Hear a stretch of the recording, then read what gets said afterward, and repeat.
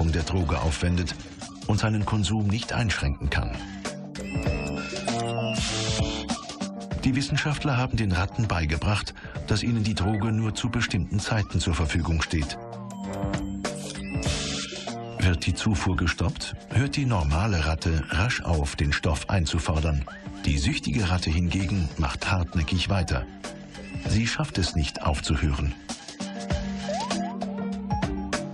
Das zweite Kriterium ist der Motivationsgrad. Der Süchtige ist bereit, unverhältnismäßig viel Einsatz zu bringen, um seine Droge zu beschaffen.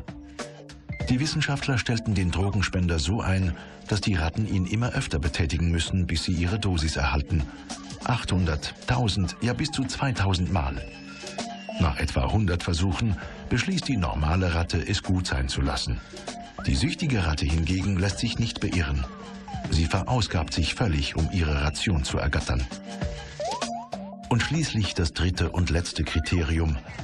Der Drogensüchtige nimmt auch dann noch Drogen, wenn er um die negativen Konsequenzen weiß. Jetzt bekommen die Nager jedes Mal, wenn sie den Mechanismus betätigen, einen leichten elektrischen Schlag. Die normale Ratte ist nicht bereit, die Schmerzen in Kauf zu nehmen. Sie hört sofort auf. Ihr süchtiger Artgenosse hingegen erträgt sie mit stoischer Gelassenheit. Fazit. Ratten reagieren unterschiedlich auf Drogen. Manche werden süchtig, andere nicht. Das Interessante an dem Ergebnis ist, dass der Anteil an Süchtigen bei Ratten und Menschen etwa gleich ist. Bei Menschen liegt die Zahl je nach Droge zwischen 10 und 20 Prozent. Bei unseren Versuchstieren haben 17 Prozent Anzeichen von Sucht gezeigt. This man came to Switzerland when he was 44. This one at age 16. This one at 37. And this one at 63. This one left it when he was just 18. Eine echte Abhängigkeit liegt vor, wenn sich jemand eingesteht, dass er ein Problem hat, wenn er unter der Droge leidet, wenn er aufhören will und es nicht kann. Das wichtigste Kriterium für die Abhängigkeit ist der Wunsch und zugleich die Unfähigkeit aufzuhören. Abhängigkeit kann auch durch Medikamente entstehen, die weniger drastisch wirken wie Heroin, wie etwa bestimmte Beruhigungsmittel oder Angsthämmer. Stark abhängig machende Tranquilizer wie Chloral, gefährliche Barbiturate und Medikamente auf Meprobamat-Basis werden heute kaum noch verschrieben.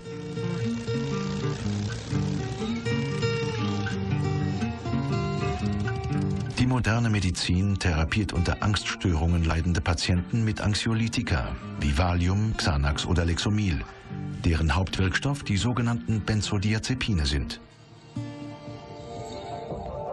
Bei Angstpatienten sind bestimmte Hirnregionen wie das Striatum und der Hippocampus gestört. Die Medikamente wirken jedoch hauptsächlich in der Amygdala, einem Kerngebiet des menschlichen Gehirns, in dem Angstreflexe ausgelöst werden.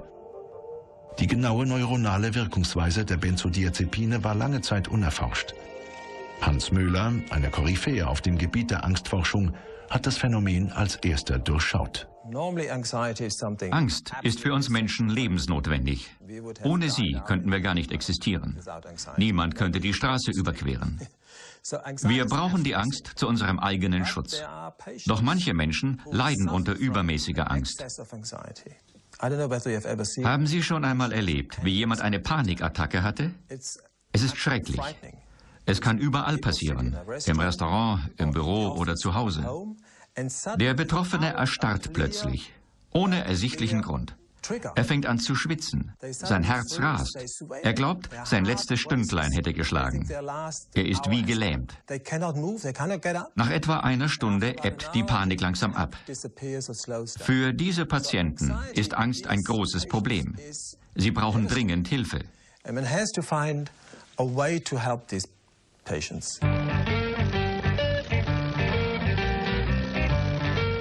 Hans Müller hat herausgefunden, dass Benzodiazepine wie Valium im Bremssystem unseres Gehirns wirken im sogenannten GABA-System. Im Gehirn eines Angstpatienten gelingt es GABA nicht, den Informationsfluss zu drosseln. Die Benzodiazepine ziehen sozusagen die Notbremse, bevor das System kollabiert.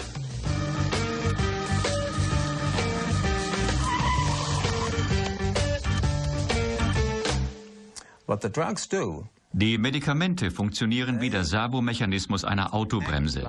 Sie verstärken das Bremssystem, also das inhibitorische System. Allerdings sind sie nicht in der Lage, die Bremse selbst zu betätigen. Um im Bild des Autos zu bleiben, bremsen muss der Autofahrer selbst. Der Servomechanismus erhöht lediglich die Wirkungskraft der Bremse. Im Normalfall stimuliert GABA seine Rezeptoren und bremst die Aktivität der Nervenzellen.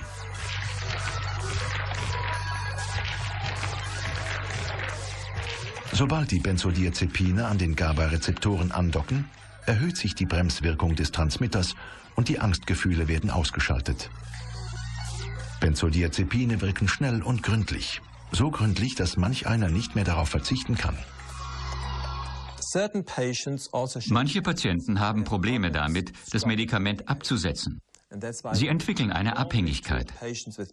Aus diesem Grund dürfen Benzodiazepine nur über einen sehr kurzen Zeitraum eingenommen werden. Patienten mit einer gewissen Suchtdisposition, beispielsweise in Bezug auf Alkohol, sollten damit überhaupt nicht therapiert werden. Das Risiko einer Abhängigkeit wäre zu hoch. Mit 80 Millionen Packungen pro Jahr sind die Franzosen die weltweit größte Konsumentengruppe von Anxiolytika. Um das Problem der Abhängigkeit in den Griff zu bekommen, hat Hans Müller genau wie Brigitte Kiefer die Rolle der einzelnen GABA-Rezeptoren untersucht.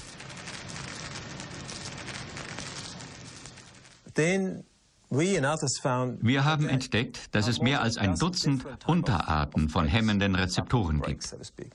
Allesamt sind sie GABA-Rezeptoren. Ursprünglich ging man davon aus, dass es nur einen einzigen hemmenden Rezeptortyp im Gehirn gibt, aber diese Annahme hat sich als falsch erwiesen.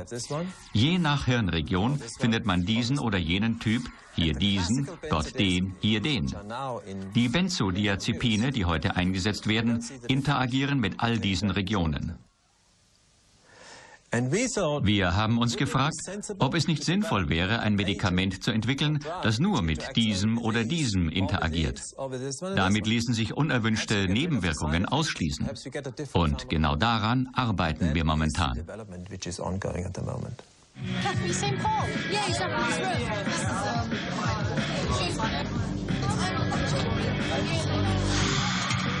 Oh, this, bis die neue Generation Anxiolytika auf den Markt kommt, dürfen die Patienten die alte Behandlung fortsetzen. Denn ähnlich wie beim Heroin gewöhnt sich der Körper an die Substanz und verlangt regelmäßig Nachschub. Bleibt dieser aus, kommt es zu Entzugserscheinungen. Trust me. The first smoke of heroin can make you throw up, but some people still go back for more. If you get into it, your locks will start to go.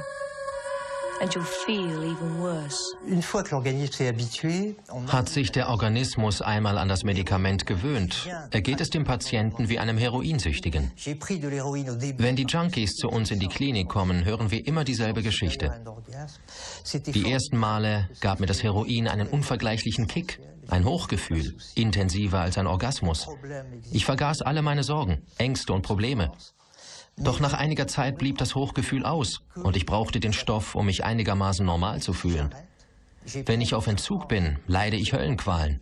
Alle Ängste kehren zurück. Ich kann nicht mehr schlafen. Das sind physische Schmerzen. Alles tut mir weh. Jede einzelne Faser meines Körpers schmerzt. Ich bekomme Durchfall, muss mich übergeben und so weiter. Die Entzugserscheinungen haben ihren Ursprung im Gehirn des Süchtigen. Um weiterhin normal zu funktionieren, muss es seine Vernetzungen neu ordnen und wieder ins Gleichgewicht bringen. The agony will reach its peak in 36 to 72 hours, then continue for two more weeks.